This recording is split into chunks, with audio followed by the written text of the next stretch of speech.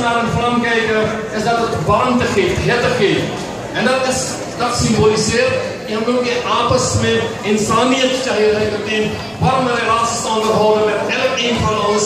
En dat is niet alleen op deze dag van Diwali, maar op elke dag die medemenselijkheid aan de dag moeten leggen. En ten derde, agar हम दिया के देखें और अग्नि के देखा जाए dan gaat u zien dat het vlammetje altijd omhoog gaat.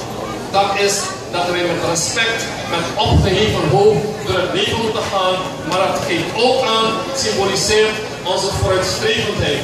Die purusharth wordt चाहिए रहते बोले पुरुषार्थ अनुभव के दैयम पुरुषार्थ करने से vooruitstrevend रहे से हम लोग हर एक जो हम लोग की इच्छा है हम लोग पूरा कर सके जैसे देवता लोग भी कर सके हैं dames en heren laten we bij deze viering van Diwali deze boodschap in onze mind, in onze hart meenemen. Dat ook na elke dag na Diwali, dat wij moeten doen alsof wij Diwali gaan vieren.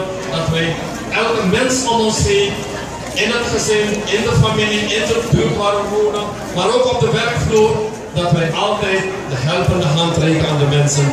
Dat is die Purush symboliseert. Het is niet alleen Lakshmi, het is ook menselijkheid. Met deze korte boodschap, dames en heren, wens ik u allen morgen, maar ook na morgen, elke dag een mooie Diwali-feest in binnenste. Laat daar die dia gaan branden en blijven branden. Mede namens mijn familie en gezin wens ik u Shub Diwali toe. Dhanyavad.